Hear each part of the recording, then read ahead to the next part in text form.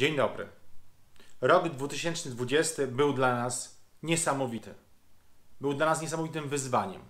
Zmienił nam się świat. Faktycznie zmieniło się wszystko, co znaliśmy do tej pory. Sposób pracy, potrzeby naszych klientów, sposób relacji z naszymi pracownikami.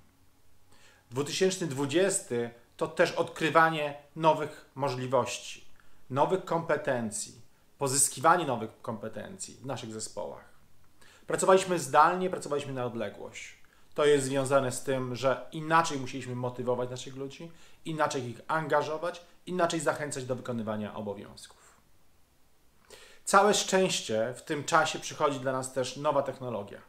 Ta nowa technologia powoduje to, że łatwiej nam się zarządza zespołami, łatwiej zarządza się motywacją i jesteśmy w stanie wykonywać to także zdalnie. Zapraszam Państwa do spotkania z Elizą Skotnicką, która razem z przedstawicielami dwóch firm IT, to jest firmy NICE oraz One to Tribe, opowie w jaki sposób lepiej motywować na odległość, w jaki sposób lepiej realizować te nasze czynności na odległość. Zapraszam, będzie bardzo ciekawie.